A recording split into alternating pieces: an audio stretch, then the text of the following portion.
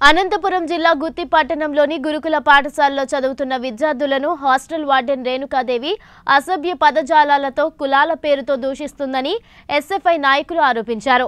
విద్యార్థులను మానసిక క్షోభకు గురిచేస్తున్న hostel వార్డెన్ను suspend చేయాలని కోరుతూ గురుకుల పాఠశాల ఎదుట ఎస్ఎఫ్ఐ ఆధ్వర్యంలో ఎస్ఎఫ్ఐ నాయకులు ధర్నా నిర్వహించారు. ఈ సందర్భంగా ఎస్ఎఫ్ఐ నాయకులు రమేష్ మాట్లాడుతూ గురుకుల పాఠశాలలో చదువుతున్న విద్యార్థులను అసభ్య పదజాలంతో దూషించడంతో పాటు సరైన భోజనాలు పెట్టకుండా మానసికంగా వేధిస్తున్నారని దీనిపై గతంలో విద్యార్థులు కలెక్టర్కు కూడా లేఖ రాయడం జరిగిందన్నారు. అయినా ఇప్పటి వరకు ఎటువంటి చర్యలు తీసుకోకపోవడంతో విద్యార్థుల తల్లిదండ్రులు హాస్టల్ వార్డెన్ విద్యార్థులను వేధిస్తున్న తీరుపై గురుకుల పాఠశాల చైర్మన్కు లేఖ రాశారన్నారు.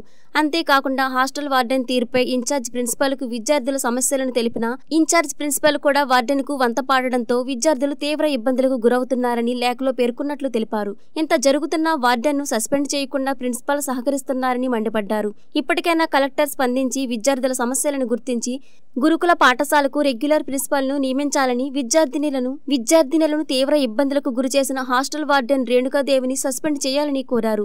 లేని పక్షంలో ఎస్ఎఫ్ఐ ఆధ్వర్యంలో విద్యార్థుల తల్లిదండ్రులతో కలిసి భారీ ఎత్తున ఆందోళనలు చేపడతామని తెలిపారు.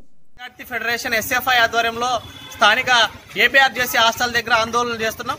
ఎందుకంటే చాలా రోజుల నుంచి ఇక్కడున్న విద్యార్థుల్ని ఇక్కడున్న వార్డెన్ రేణుకా మేడం గారు విద్యార్థుల్ని వాళ్ళ కులాల పేరుతో అదేవిధంగా విద్యార్థుల మధ్య గ్రూపులు పెడుతూ ఈరోజు విద్యార్థి విద్యార్థులు తగాదులు పెడుతూ ఈరోజు విద్యార్థులు పూర్తిగా మానసికంగా ఇబ్బందులు గురి చేస్తూ అదేవిధంగా విద్యార్థుల్ని బ్యాచ్లు డివైడ్ చేసి బీపీ అని అంటే బీపీ అంటే బురదలో బొరలాడే పంది అని చెప్పి అదేవిధంగా ఎల్పీ అని చెప్పి అంటే ఇట్లా బ్యాచ్లు డివైడ్ చేస్తూ చాలా వల్గర్గా ఈరోజు విద్యార్థులను తిట్టడం జరుగుతుంది. అదేవిధంగా ఇక్కడైతే ఎవరైనా పేరెంట్స్ కూడా విద్యార్థుల దగ్గరికి వచ్చినప్పుడు వాళ్ళని కూడా ఈరోజు ఇబ్బంది గురి చేస్తుంది అదేవిధంగా విద్యార్థులకి నాణ్యమైన భోజనం కూడా అందించట్లేదు అని చెప్పి ఈరోజు చాలా సమస్యలు జరుగుతాయి అదేవిధంగా ఉన్న ప్రిన్సిపాల్ మేడం గారు కనీసం విద్యార్థి సంఘాలు కానీ లేదా ఎవరైనా మీడియా వాళ్ళు కూడా వచ్చి లోపల భోజనం చూస్తామంటే వాళ్ళు కూడా అనుమతించని పరిస్థితులు ఉన్నాయి. అంటే ఈ రోజు బయట ఎవరికి లోపల రావడం వల్ల లోపల చాలా విషయాలు జరుగుతున్నాయి. వీటన్నిటి పైన ఈ రోజు ఇప్పటికే పేరెంట్స్ కమిటీ కూడా వీటిపైన సస్పెండ్ చేయాలని చెప్పి పై అధికారులు కూడా తెలియజేశారు. మేము కూడా భారత విద్యార్థి పరిషత్ ఎస్ఎఫ్ఐ కూడా డిమాండ్ చేస్తున్నాం. ఈ హాస్టల్లో విద్యార్థులని ఇబ్బందులు గురి చేస్తున్న వాటిని వెంటనే సస్పెండ్ చేయాలి.